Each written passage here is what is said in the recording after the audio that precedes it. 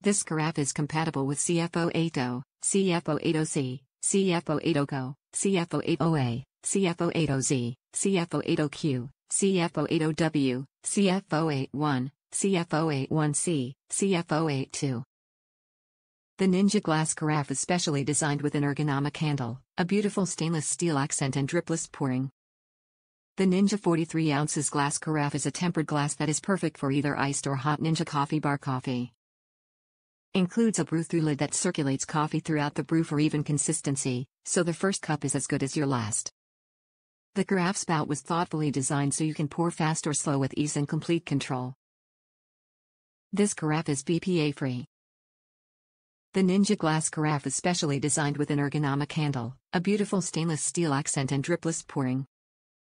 The Ninja 43 ounces glass carafe is a tempered glass that is perfect for either iced or hot Ninja coffee bar coffee. It includes a brew-through lid that circulates coffee throughout the brew for even consistency, so the first cup is as good as your last. The carafe spout was thoughtfully designed so you can pour fast or slow with ease and complete control. Top reviews from the United States. Pretty good. Infinitely better than the little handheld ones. I tried one of those handheld little electric slash battery milk frothers, about $20, and it made the most amazing foam.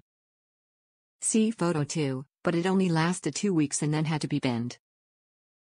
So I figured the old-fashioned way will last me a long time.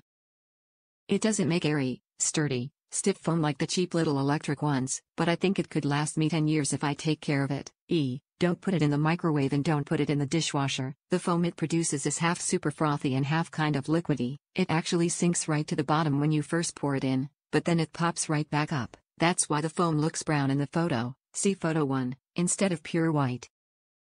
But it still looks nice in a drink and tastes very creamy and frothy and knowing that it's not going to die on me in two weeks, makes me feel very satisfied with this purchase. It's not at all hard to pump BTW and there are no scraping sounds etc. Yes it's kind of messy, but all milk frothers are. It's actually really fun to use and I'm very glad I bought it.